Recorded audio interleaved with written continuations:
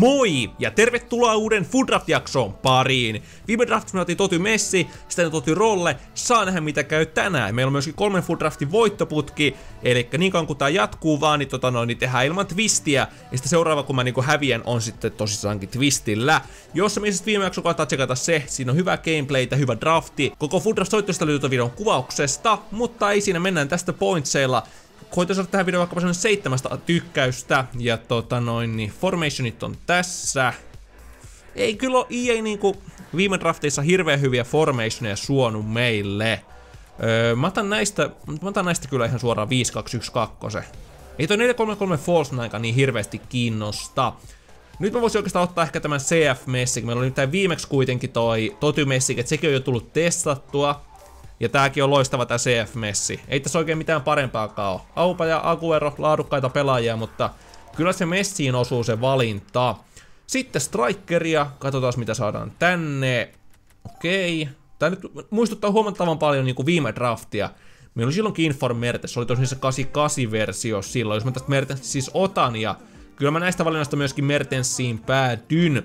Ja sitten, sitten, sitten, sitten... Okei. Otetaan tänne vaan chemistrin takia toi William Hose, koska ei, ei tos oikein oo silleen mitään hirveä, hirveän tähtipelaaja mielestäni. Oikee CM, okei täällä on tää Hamesin uusi informi, ei linkkaa kyllä millään tavalla.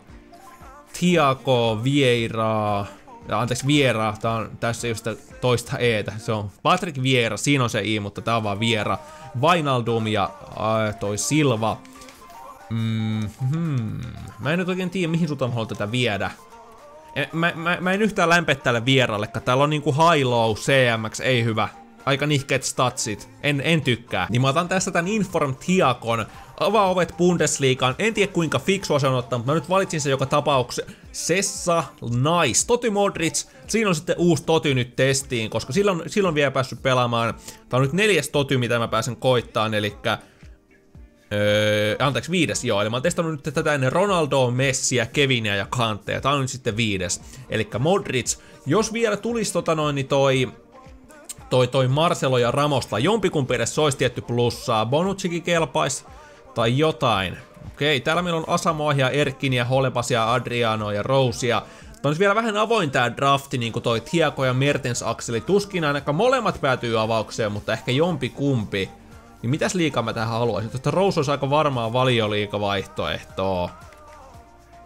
Sitten taas mulla liikaakin liikoja va valittuna ehkä. Mä en oikein tiedä. Tää on nyt vähän silleen hankala. Mä otan Asamoahi. Mä otan Asamoahi. Rose on parempi pelaaja, mutta sitten olisi taas yksi ylimääräinen liika. Katsotaan, mä en tiedä, oliko toi vörtti ottaa Asamoa, mutta me, meillä on nyt niin huono chemistry tällä hetkellä. Otetaan Nacho, vaikka mä en tykkää Laportista enemmän pelissä, mutta Nacho on kuitenkin niinku vihreä linkki äh, Modritsiin ja sitten myöskin keltainen linkki Tiago, jos Tiago tulee olemaan tähän Toty Ramos, ei tule mitään Toty-pelaajia. Meillä on täällä Hamussia, Kompania, Miranda, Atspia ja Pepe. Tätä täytyy nyt harkita loppuun asti. Hamus tois hyvät linkit, joo, mutta sitten taas Nachoki ajaa kyllä asiansa tuossa keskitopparina niin linkaten Linkaten sekä, sekä Tiagoon että Modritsiin, joten ei, toi Hamus ei ole niinku pakollinen siinä mielessä. Miranda olisi tietty yksi vaihtoehto. Mm, mä, mä en oikein varma nytten. Tää on nyt vähän silleen... Otetaan oikeastaan että siinä on lisää Espanjaa, mutta sitten pistetään Nacho tohon. Joo, mä en nyt tiedä oliko toi fiksu. Tää on nyt vähän silleen Täytyy, täytyy, täytyy katsoa. Tämä ei ole mitenkään menetetty tapaus tämä drafti missään nimessä, mutta tämä vaatii vielä paljon fiksaamista. Tänne mä otan kuitenkin Sanen, se on Bundesliga, ja tähän sitten Bundesliga RP. Kimmi tulee ainakin, joo, mennään sillä, mennään sillä. Nyt saadaan vähän lisää kemistriä, mutta Kemi on vasta 6-7, että se ei vielä hyvä ole. Siinä on paljon, paljon, paljon petrattavaa. Toty Dehea olisi maistunut tänne, mutta ei, meillä on täällä Asenho. Asenho ainakin linkkaa hyvin. Hornia, Hartia, Färmania. Färman on ehkä paras näistä in-game. Niin kuin moni pro peluttaa Färmania ihan niinku monien pro Färman on pelin paras veska. Färman ja Deha on varmaan niin kuin monien pro ykkösvalinta. Mä otan tänne kuitenkin ton Asenho, Asenho linkkeen puolesta, niin nousee chemistry mukavasti. Nyt meidän pitää tää, tää selvittää tää, että kuka täällä oikeana strikerina on. Mertens siellä ei voi olla, joten tuisko tähän jotain? No tänne tulee Stindl, mikä linkkaa vähän paremmin. Mutta aika hirveä kortti. Tai siis, ei nyt hirveä, mutta ei mikään ideaalikaan. Otetaan se nyt silti tästä, niin se boostaa täällä nyt, se boostaa täällä nyt kolme kemistri, kolme, ei, ei mikään hyvä boosti kyllä. Mitä tulee tänne sitten? Okei, ei mitään auttavaa. Meillä on Baileya, Ronaldo, Bainesia, Dimaria ja Dybalan Informia.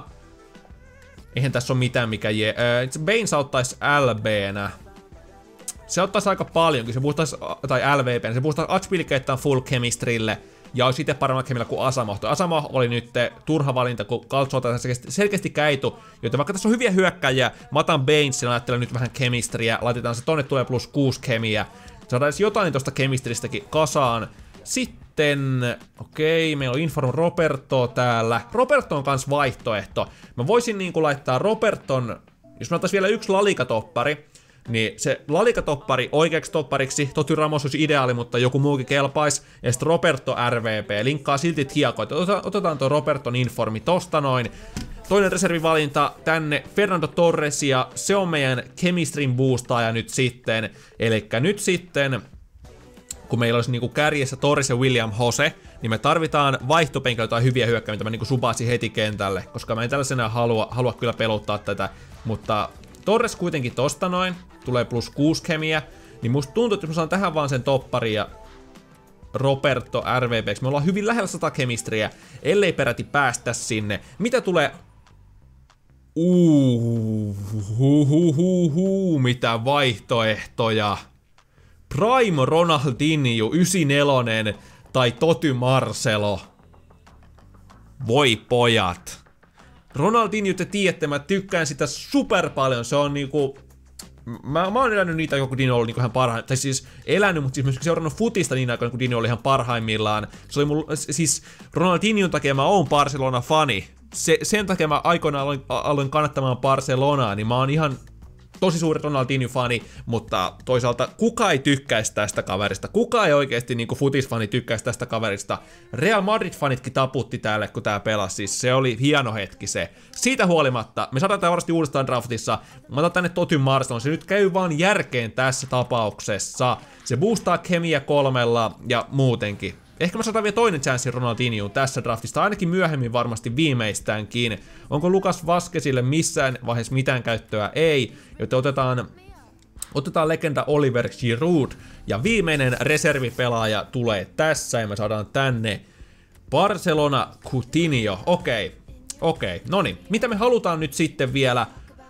No, meidän tää hyökkäys, vaihto, vaihtohyökkäys on vähän nihkeetä, että meillä on täällä Mertenssiä ja ja me halutaan Lalika-toppari ainakin, sitten mä pääsen kokeilemaan sitä, sitä, sitä Lalika-toppari, kuka nyt tuleekaan, jos tulee, ja Roberto 2 koa. Tänne tulee hopeita, okei. Okay.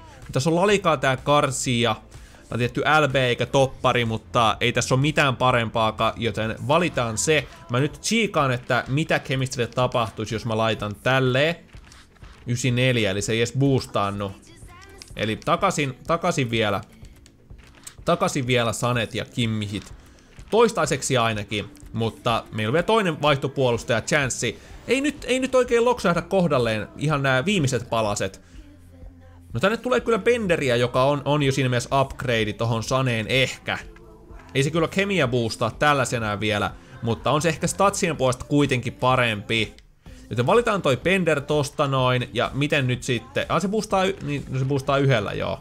Eli siis boostaako se nyt Kimmihin sitten kympille vai? Joo, niin se käy nimittäin. Mä ajattelin, että ei se niinku noitten linkkejä boostas, mutta joo, se boostaa vaan sen kympille. Mut siis kumpi on parempi statsien puolesta? Bender versus Sane. Bender on nopeampi.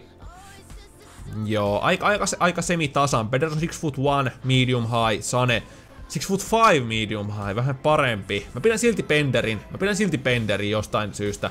Ehkä sen yhden kemi boostin takia tai jonkun muun takia. Tänne me saadaan, tai joudutaan ottamaan Churutucha. Ja viimeinen keskikenttä vaihtopelaaja, Fernandinho, no se on ihan hyvä pelaaja, ihan pelimies, 84 rated kaveri, ja tota noin, niin Otan sen kyllä näistä ehdottomasti. Vaihtopenkki jäi vähän pettymykseksi kieltämättä, että tota noin, niin, tai ottaa että meillä on avaus William Jose ja Torres kärjessä, niin se vaatii heti kyllä toimenpiteitä. Mutta tota noin niin, otetaan, otetaan nyt vielä toi vaihtoveska. Rating on 87. Ja vaihtoveskaksi me saadaan ihan roskaa, Willy Caballero, legendaarinen, tosta noin. Ja rating tippui taas takaisin 86 Caballeron takia.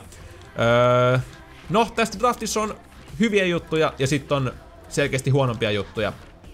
Eli mistä mä tykkään, pari totyä, Modric sekä Marcelo, kumpaakaan en ole testannut, mä oon testannut sitten niinku yli puolella jo totyistä tämän jälkeen.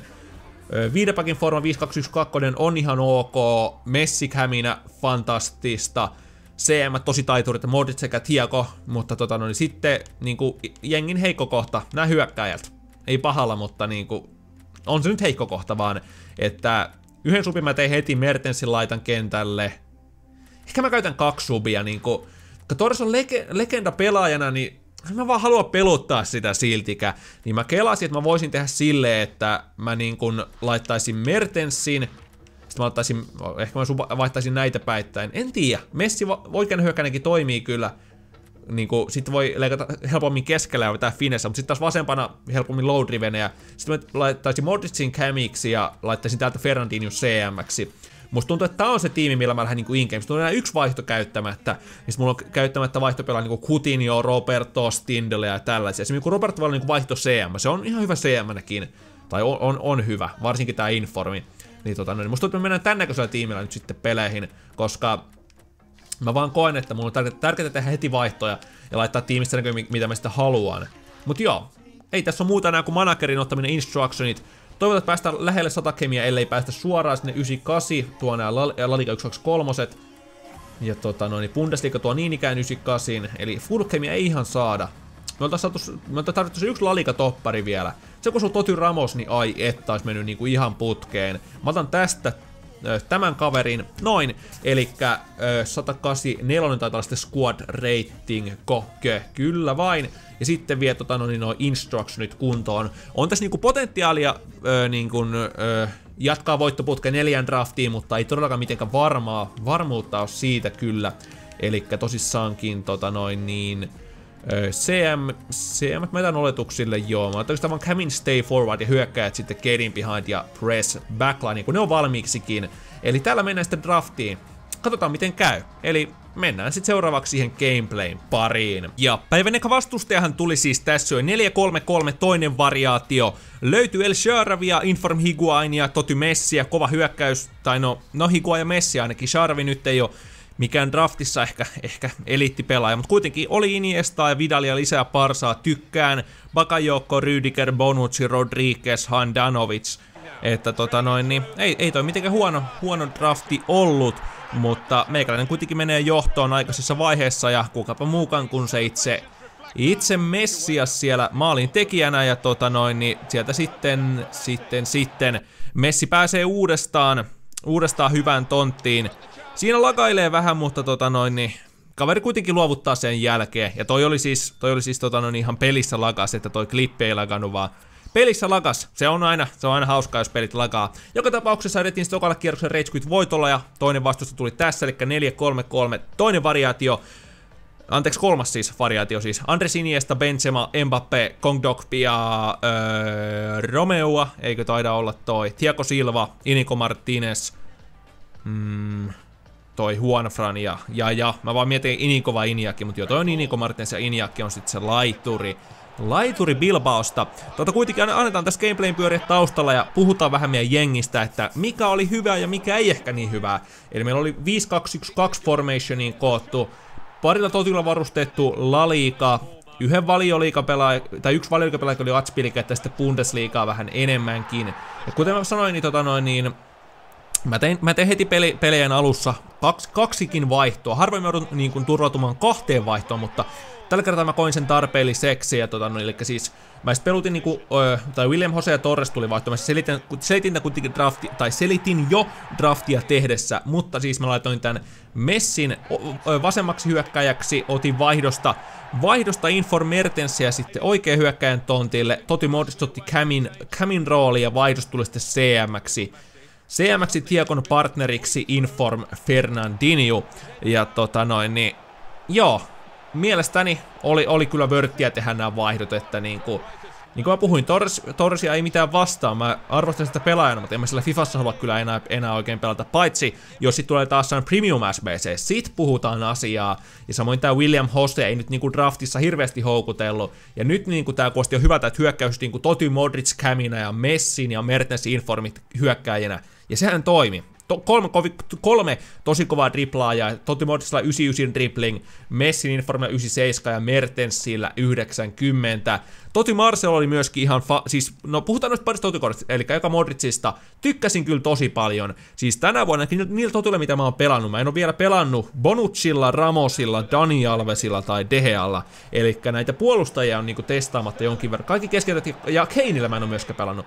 Eli mä olisin pelannut Ronaldolla, Messillä, Modricilla, Kantella, Kevinillä ja Marcelolla tällä hetkellä, niin, niin, tota noin, niin ainakin ne millä, millä mä oon pelannut, niin niissä on kyllä ollut niinku tosi semmonen niinku Totyn spesiaalifiilis, oikeesti niinku tunteet niitä statseja on boostattu, mikä on tietty pointtikin niissä, että niinku Totyt saa valtavia boosteja, vähän sellaisia ehkä typeränkin hyviä, jotkut niinku kantteja se shooting boost. Se on vähän typerää, mutta sitten taas jollain tasolla mä sen ymmärrän.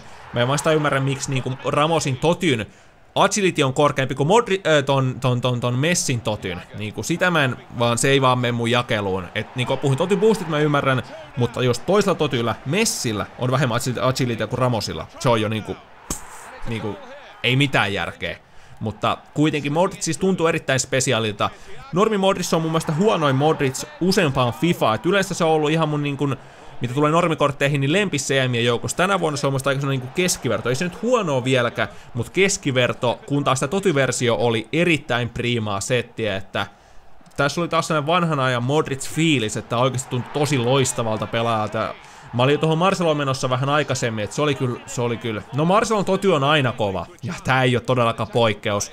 Et mitä voi odottaa niin kun laitapaketti, joku Pace on 90, Defending 92, Physical 91, ri, äh, Dribbling 95, 94 Passing, mutta mä sanon sen, että tämä tuntuu menevän LBnä, tai tässä tapauksessa LVPnä vähän hukkaan, että mikä olisi mun mielestä Marcelo varmaan, no siis LB on sen sen paras peli, koska se, se hoitaa sen niin kuin tosi hyvin tonttinsa, mutta kun se vaan menee joltain LBnä hukkaan, niin mikä olisi mun unelmapaikka Marcelolle, niin 41212 vasen CM, koska se on vasuri. Siinä paikalla mä uskon, että Marcelo olisi niin sairaan hyvä. Ja ehkä mun pitää joskus koittaa sitä siinä. Tai LM ylipäätänsä, mutta siis niinku myöskin vasempana CM, voi pojat, kun täältä siis löytyy kaikki. Statsien puolesta voi pelata niinku missä vaan. Jopa strikerina, Shooting nyt, on, shooting nyt ei ole niinku mikään valtti, ja 76 finishing, mutta sitä kun boostaa vähän jollain sniperilla tai deadailla tai tälleen, ja ja sitten niinku, kuitenkin löytyy jo 90 pace, 91 physical. Totta kai se toimisi myöskin strikerina, mutta tietenkin se ei ole ideaalinen. Mutta keskikentällä mä haluaisin koittaa Toty Marceloa jossain vaiheessa 93 stamina, 88 strength. Et LBnä aivan fantastinen, mutta tuntuu vaan, että niinku, siitä voi saada niinku vielä, vieläkin enemmän irti jossain muulla pelipaikalla. Niin sinänsä, sinänsä oli vähän niinku sääli, Sääli. Tai en, mikä sääli. Olisin mä voinut olla tästä keskikentälläkin. Ei mikään mua estänyt muuta kuin se, että mä pidin sen LVPnä kuitenkin. Mutta siis se teki välillä niin hyviä nousuja. Siis sillä oli, sillä oli tosi nautinto pelata. Mä, mä tykkään Toty Marcelosta suuresti. Ja tota noin, niin joo, tässä ollaankin päästy gameplaytä, gameplaytä öö, niinkin hyvin eteenpäin, että voitettiin drafti. Eli joo, se oli sitten... Ne, ne, ne, ne, ne. Eikö toi ollut neljäs Joo, kyllä. Neljäs Food Draft-voitto putkeen. Eli tota, no, draftit, draftit on viime aikoina sujunut, ja se on, se on mahtava juttu, että vielä seuraava drafti ei ainakaan twistillä. Joka tapauksessa lähetään vaan ne palkintopaketit sitten vielä. Eli joo, sellainen Food Draft sitten tällä kertaa. Mä nyt laitoin tän tälleen, miten tää niinku oli in-game, eli niin kuin mä puhuinkin just, niin Messi ja Mertens kärjessä, Modric, Camina, Ferrandinho, CM. Tällaisena tämä tiimi oli kyllä, oli kyllä varsin hyvä, että tota noin, niin ei saatu ehkä alkuun ihan parhaita pelaajadraftiin, mutta kyllä mä tästä mielestäni ihan jees draftin parilla vaihdolla sain, että ne vaihdot oli kyllä niinku kriittiset. Ilman niitä musta tuntuu, että niinku en olisi kyllä, en olisi kyllä niinku ihan voittoon asti mennyt, että tota noin, niin jos mä olisin tällä lähtenyt peleihin ja pelannut kaikan puoleen tällä, niin en tiedä, olisiko mennyt niin hyvin. Mut kiva, että saatiin pari uutta totyä testiin, Informessi totta kai aina, aina mukava pelata sillä ja tälle, että ei kyllä valittamista tästäkään. Ja draftit sujuu, sujuu nyt. Saa nähdä päättyykö ensi draftissa voittoputki vai koska päättyy. Vai päättyykö koska, no totta kai se joskus päättyy, mutta Toivottavasti ei vielä seuraavassa draftissa. Täältä saadaan kuitenkin 50 ja 5 kompaketti palkinnoksi. Ei hassumpaa, otan sen vasta. Viimeksi tuli kaksi Rare Code Packia, niin on tää aina niinku parempi. Elikkä ekana tästä lähtee Codepack Chupa Dupa Doo, mitä sieltä tulee, ei ainakaan tauluja. No, Codepack, hei, mitä täältä voi odottaa, ei yhtikäs mitään ja se on juurikin se, mitä me myöskin täältä saadaan, elikkä ei yhtikäs mitään. Mutta tota, no niin noi tosta noin Martins Indie-listoille ja loput sitten klubiin. Mä käyn nopeasti tyhjentämässä tota listaa vähän, että siellä on enää neljä spottia, niin kuin näette paljon on myynyt niin, niin tota, no, öö, ei se nyt tyh tyhjensikö ne, otti se Joone pois, niin tota noin, niin ihan vaan jos tulee niinku paljon duplicateja, niin se tarvii niinku discardaa niitäkään. Tästä lähtee Real Players Pack, please EA, jotain hyvää, jotain hyvää. Se on hetken aikaa Sonic-paketeissa, saadaan taulut, mutta se ei ole kuitenkaan tota noin, niin toi Infraflare, vaan ihan normi kultapelaaja Flare, ei Espanja, Adurits, okei, okay. okei. Okay. Ei siis saatu tänäänkään mitään spessua 50 koon paketista, toisaalta en nyt mitään hirveän spesiaaleja olekaan, että ei läheskään jokaisesta mitään hyvää tuu. Toinen 84 ainakin. No ei, mutta saadaan 383. Ja sitten on vielä Sirikua ja Sirikua duplicateissa, jippii. Eli tota noin, niin aika keskiverto, aika keskiverto tota noin, niin toi palkinnot. Just jotain niinku tulevaa SBC-kamaa sit kun taas 84 jollain tavalla niinku relevantteja. Onhan, onhan nyt Aduritsilla tällä hetkelläkin arvoa. Itse asiassa ei se kyllä oikein tosta silleen niinku tuu nousemaan. Ollaan rehellisiä niinku ei 84 silleen niin hirveästi niiden hinta nousta. Tarvitaan niin tosi spessu. Viimeksi kun oli totujen aikana jotain informpäkkejä, niin ei 84 noussut hirveästi niin kuin tosta. Joten mä myyn Adur Aduritsin nyt pois, otan siitä vähän masseja talteen, kun kuitenkin voitin draftiin, niin mä vähän coinsia myöskin takaisin itselleni, koska kuitenkin niin kuin, ei noista liikaatu, liikaatu muutenkaan. Mutta tota, no, tällainen draft tällä kertaa. Mä oon iloinen siitä, että niinku draftit on sujunut viime aikoina. Sääli, että me ei olla vähän aikaa päkätty mitään draftista. Onneksi tämän totujen aikaan tuli hyviä nostoja, niin, tota, no, niin ne nyt vähän niinku tavallaan lohduttaa muun muassa Tiff Son kertaa kaksi. Kerran untradeableina ja kerran tradeableina. Ne on, ne on ollut kovia. Hyungmin Son ja tai sekasin Sonista, tietäjät tietää mitä mä sillä meinaan. Mut hei, jos sä dikkaat Food, Food dikkaat tästä jaksosta, jätä ihmeessä tähän videon tykkäys viimeistä tässä vaiheessa ja tilaa mun kanava tuolta vasemmasta logosta, jos vielä tehnyt niin. Tässä videossa koko Food Draft soittolista sekä pari muuta videoa, mitä sä voit tsekata ja klikata, jos sua yhtään kiinnostaa. Seuraa mua myöskin Instagramissa ja Twitterissä, linkittyy videon kuvaukset tuolta alhaalta. Se ois moro!